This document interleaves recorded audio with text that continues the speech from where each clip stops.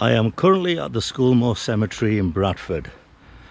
Now before I kick off this blog, what does Battle of Trafalgar, St Luke's Hospital, which is 10 minutes up the road from here, and the Scholemoor Cemetery have in common? You will find the answer of that question towards the end of this film. Now, not many people know that the uh, St Luke's Hospital in Bradford used to be known as the uh, Bradford Union Workhouse. And as you can imagine, there'll be all sorts of characters and personalities walking through the doors.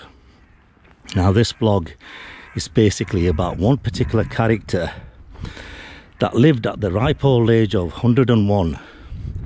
And just before he died at the workhouse, he left an extraordinary claim now we are going to pursue that claim and find the evidence whether this old fella was senile, so to speak, or wasn't quite sure what he was saying at the time.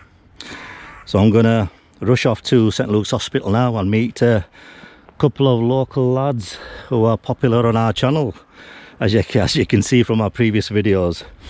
And um, they will talk about the workhouse, the history of the workhouse, and we shall trace the uh, footsteps of this particular personality and myself finally will bring you back to the Scholemoor Cemetery and take you to an obscure area where not many people know that it exists and you'll be amazed with the find. We're currently in the grounds of St Luke's Hospital and what a lot of people might not realise is this building behind me, one of the original buildings, was actually a workhouse in Bradford. It was relocated here, the whole workhouse operation, and this land was a 14 acre piece of land that was known as Horton Park, and it was bought for £14,000. And in 1850 to 1851, the building behind me was constructed at a cost of £7,000. Now, it was designed by Lockwood and Mawson, the eminent architects who designed many of Bradford's fine buildings. Um, Market, the Town Hall, the Wool Exchange, you know, you could go on and on and talk about what those guys built. And they also designed this. So what we have here is um, an archive illustration of the workhouse. And originally where we're stood now, there was like a reception block that had an arched opening and this main building that you can see here in the illustration is what's currently standing here behind us. By 1920 it had been established that there was actually a bit of a, a shortage in Bradford regarding hospital facilities so a decision was made to transfer all of the able-bodied inmates of this workhouse to other premises elsewhere in the city and only the ill remained here. But not too long after that, around 1930, the whole institution, if you like, of workhouses, it was actually abolished and a decision was made that those less able to take care of themselves, they would actually be taken care of by the government. By 1920, the Bradford Union Workhouse um, had changed its name to the City of Bradford Municipal General Hospital, which eventually became known as St Luke's. And although the main body of the workhouse still stands, in 2010 or thereabouts, various buildings which had been added to the workhouse were demolished um, for things like car parking and what have you.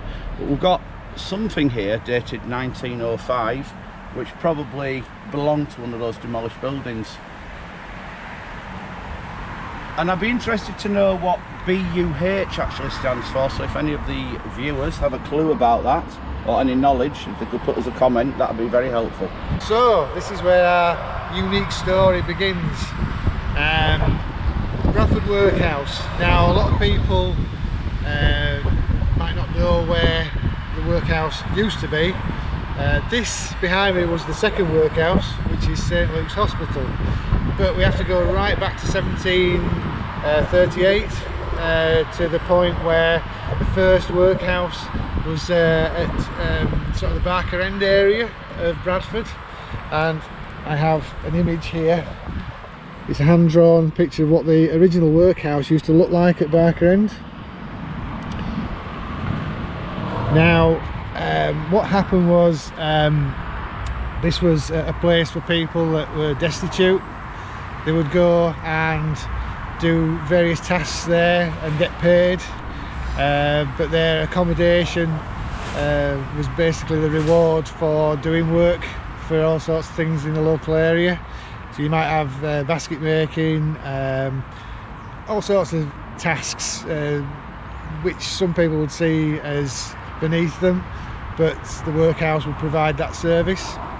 And just here we have a, an example of how tough it was at the workhouse because that is a coin, a penny, and it's from 1812 and would have been issued to anybody that was working at the workhouse and it was to pay for accommodation.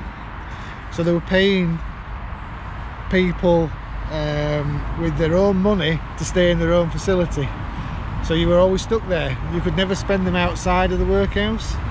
So you were literally in a loop continuous loop.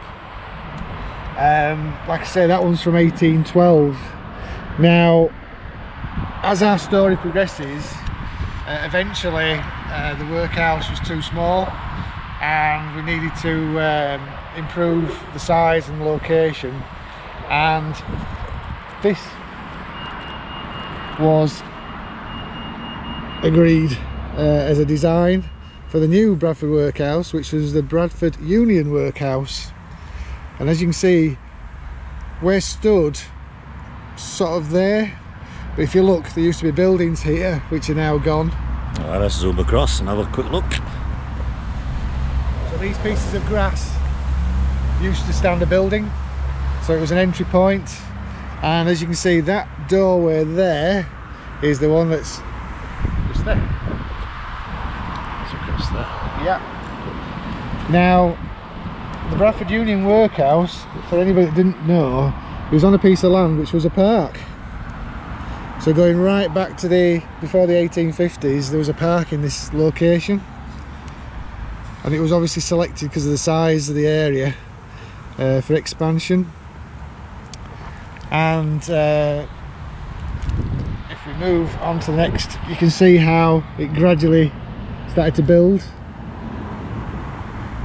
So we are stood uh, roughly there in that sort of courtyard because these buildings have been demolished and that's the front door of St Luke's Hospital.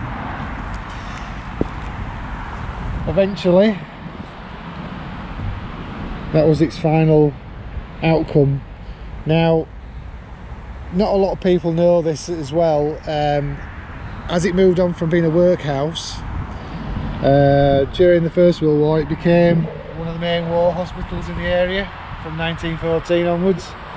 So there was a, a huge amount of soldiers from all over the country and sometimes the world came here uh, to be uh, looked after and uh, given medical treatment uh, for all kinds of ailments due to the First World War.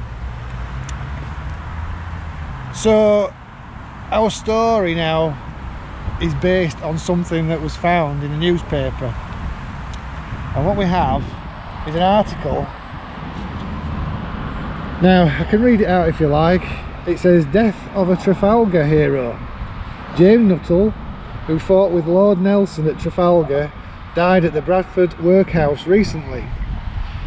Now suddenly alarm bells started ringing because was this a tall story or was it actually real? Um, so we needed to investigate this because if it's actually a real story then we have somebody that's uh, pretty important in history. Um, so we moved from talking about the workhouse where he died and then we'll just continue with the story. James Nuttall um, again what's amazing about this article is that it says that he died uh, aged 101 or 102 as it states on here but um, a lot of things weren't adding up. So we said he was born in Bradford um, and he'd served with Lord Nelson at Trafalgar. So was he on HMS Victory? A lot of it sounded like maybe it was just an old man sort of uh, I don't know not playing to the camera because I want the camera but actually the you know when when they put this together, he was telling stories about his life in the Royal Navy, how he joined early, and ended up in 1805 being at the Battle of Trafalgar. It's quite a lot of claims there, and what I wanted to do was try and prove it.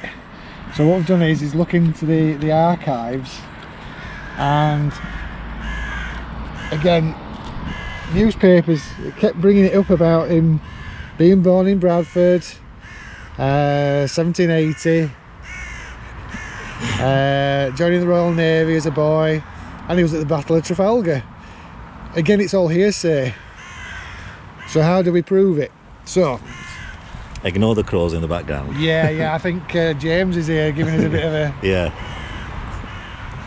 So, looking through the archives of the, you know, sort of uh, official records, I found James Nuttall, and it says, yep, he died aged 101, not 102. He was born roughly 1781, Right. um, and he died in March 1882. So, we proved that this chap did exist. Then, in the 1881 census, this is for the Bradford Union Workhouse. And if you look, it says inmate. So these are all inmates. And as we get down, we've got James Nuttall. He was a widower. It claims in 1881 he was 83. Right. So not 101. Right. There you go. So then the the sort of this thing about um, did he really have his full marbles? I suppose that's a nice way of putting it because it, there are all these different conflicting things. Uh, he was a wool comber uh, at the well before he went into the workhouse by the looks of things, but he was also born in Burnley in Lancashire, not As opposed to Bradford. Bradford. Right. So I don't know whether or not he was coming over by saying he came to Bradford and it's got mixed up in that conversation. But we've proved that yes, he was here. That is him. yeah. So where do we go from there?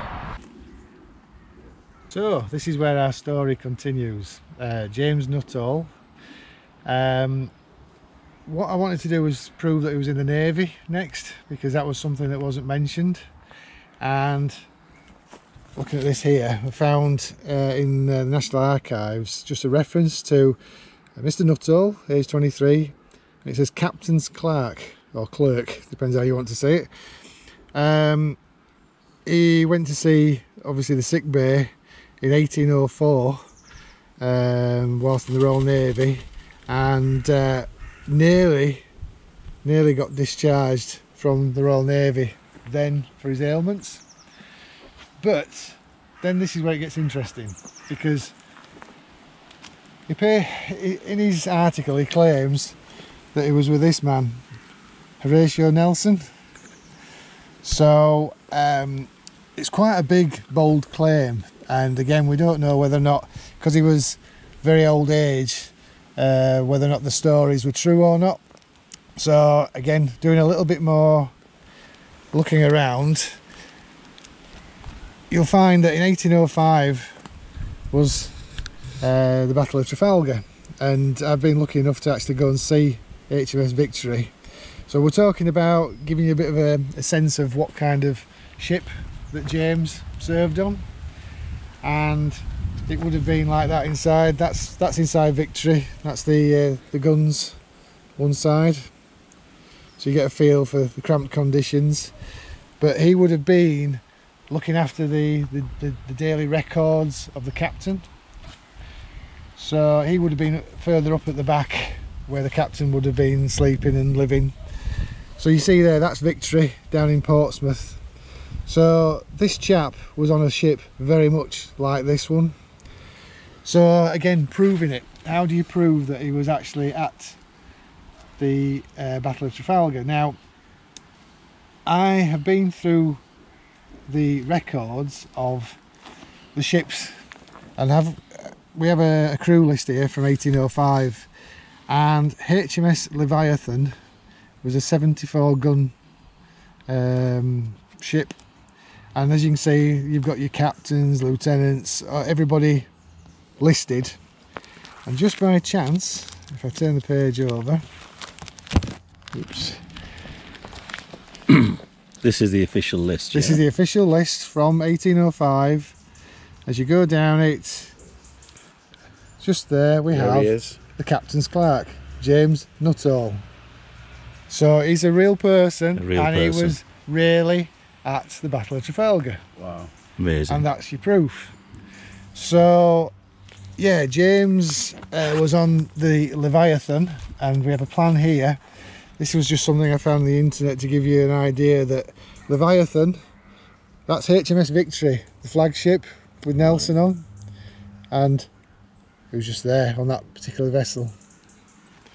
So the captain's clerk literally had to look after all the records on the ship. So he would have been very close to the captain. Um, the actual ship, again, looking online, that's a, a cross section of the Leviathan. Not as big as the Victory, I, I don't think, from from my limited naval knowledge, but uh, you get a feel for that's the vessel yeah, that's a good illustration. Yeah. Okay. And that is a, a model of the Leviathan. As you can see, very similar colours to the Victory down in Portsmouth. So now you've got a sense of what this man Yeah. was actually travelling on in a, in a major battle, the Battle of the Nile. Uh, battle of the Nile was first, and then you got the Battle of Trafalgar. And Trafalgar is uh, kind of better known, really. And you've got Trafalgar Square in London Yeah. with uh, Nelson's column. Now, this chap, this was the captain of the Leviathan. So again, it's giving you an idea of the age of our James Nuttall and the style. So this was Captain Henry William Bayntun, and he is listed quite importantly. Um, he died in 1840 and he's actually buried in Bath. Bath. Right. So you can just make out there, it's quite a, an impressive gravestone, family headstone, everything. And he, he had quite a distinguished career, did the captain, after he became an admiral. So he would have been on quite a big payroll. Uh, he received medals, a pension of 3001 per annum for good service. So he was quite a wealthy man, uh, was the captain. Um, so it gives you a sense of class as well. Um, some of the medals that were out there that were given to people. This is actually for a different ship, but everybody received uh, medals if they were uh, allowed to receive them. And our man should really have received a Naval General Service medal Right. See. if he claimed it. You used to have to claim your own medals, okay? Now you can see there it says Trafalgar, it's the Trafalgar bar on the medal. And just to give you an idea of how important this chap is, one of these medals has recently sold for £9,000. So they are very sought after, and this gentleman, James, uh, needed bringing to the forefront. So we've proved that he existed, we proved that he was in the Royal Navy, we proved he was on the HMS Yeah. Leviathan, and now we're going to show you roughly where he is. So, in Scholemoor Cemetery, there is an area called the Conservation Area. It's a wooded part, as you probably have gathered from where we stood.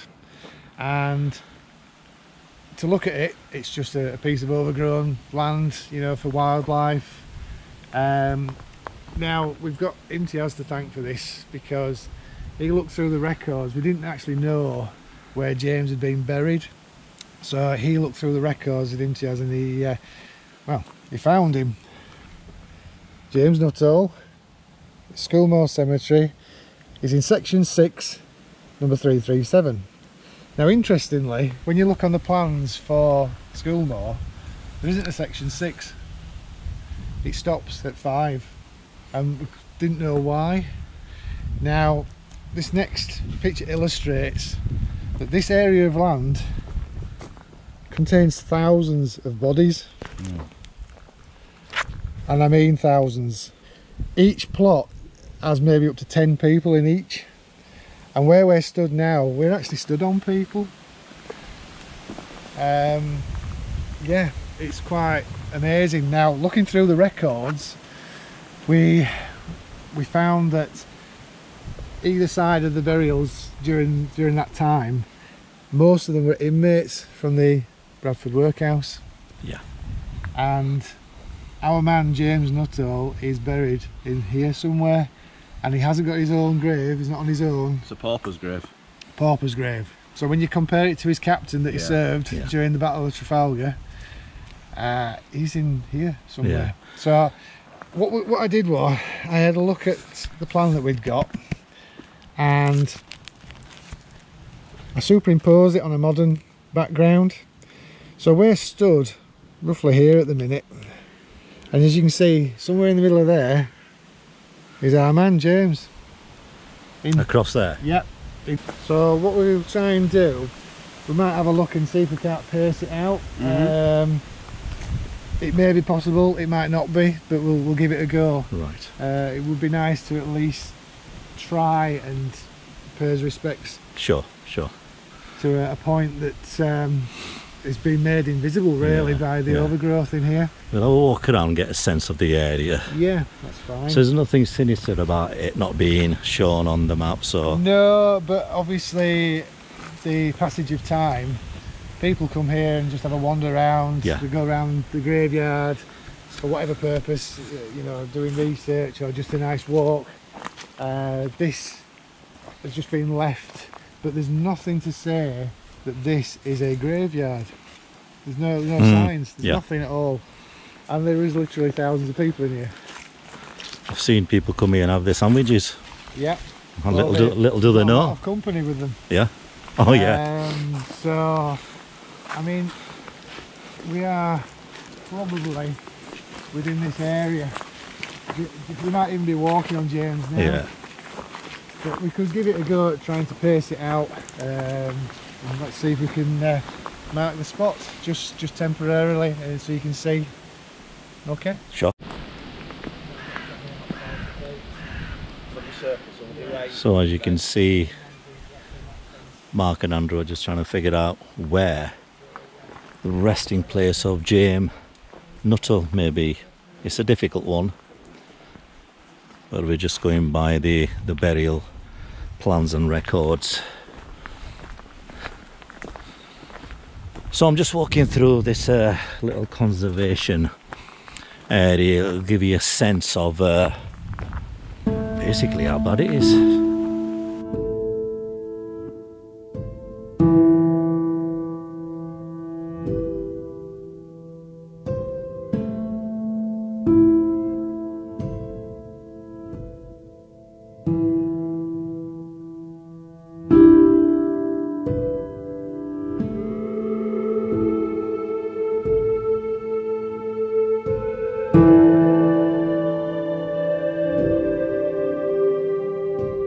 Okay, so we've got the superimposed plan here, and our reference point is the circle, and there it is. You can just make it out.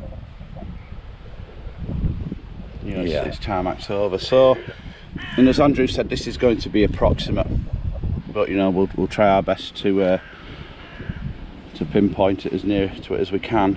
So, um, we're now looking at the circle and the plan. So by my estimations, I reckon I need to start to be at this point roughly about here. And Andrew calculated um, we need to walk in that direction about eight plots. Okay. So I'm going to try and do this as uh, gracefully as I can. Um, each plot is about six foot, so here we go. One, three, four, five, six, seven, and eight.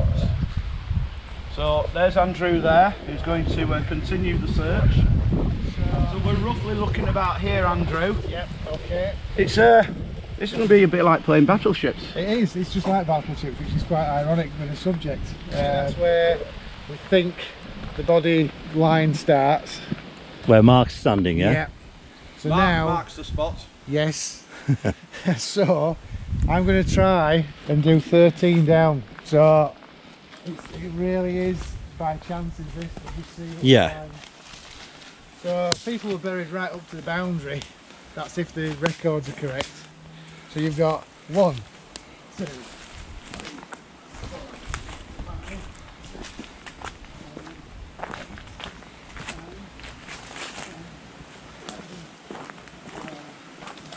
thirteen. 13, yeah? So what I'm going to do now is go across. And I can just make out Mark. Yeah, so Mark's just behind there. Yep. And So Cross is the footpath reference. through the conservation area. yeah, And there you go. I, I can see you just about. yep. right. But this is in this area. Right. This Yeah. is the best we're going to do because, like I say, he's actually in this grave with I think another nine other people. It shows you that the admiral with his posh grave, and now we've got James Nuttall, ex-Royal Navy, a hero, and he's somewhere in here, buried with thousands of people. It's uh, it's quite quite shocking. Yeah, it is really, quite haunting because- actually, yeah. yeah, he uh, he was a vital part of the ship, the running of the ship. Uh, what he did after that, I've got one last record which gives you a little bit of an idea that um, it does mention in the article that he had children, and his children uh, in their 70s ended up in the workhouse as well. Right. So we know that at some point he got married, and I did find in 1824 um, he's actually here um, James Nuttall, sailor and a Right. bachelor, and he got married in Burnley to um, a Mary Barber, I think it says. So you're back to Burnley. Yeah. Yeah. Yeah. So there's still confusion about was he born in Bradford or was he born in Burnley? Maybe that's the confusion. He's a, nearly 100 years old or 100 year old. We don't know if he's 80, 102. Yeah. Is confusion kicking in? He got married in Burnley, but was he actually still not from Burnley? We just don't know. Mm. It's it's very it's it's an old man's ramblings, as they say. Yeah. But there's loose threads there that sort of tie up. It does, yeah. It does tie together. Yeah, so he's claiming he's from Burnley. He got married in Burnley, but did he come to Bradford to find a job and end up in the workhouse because he couldn't find anything? So just for this film, we thought we'd pay a little bit of a tribute because we think this is the location of a war hero from the Battle of Trafalgar in 1805 and there's nothing to say he's here there's nothing that marks the grave he's buried with other people from the workhouse and well just put this together just temporarily for this film Okay. okay so you would like the honours Thank you. there you go Just put that there. Rest in peace, James.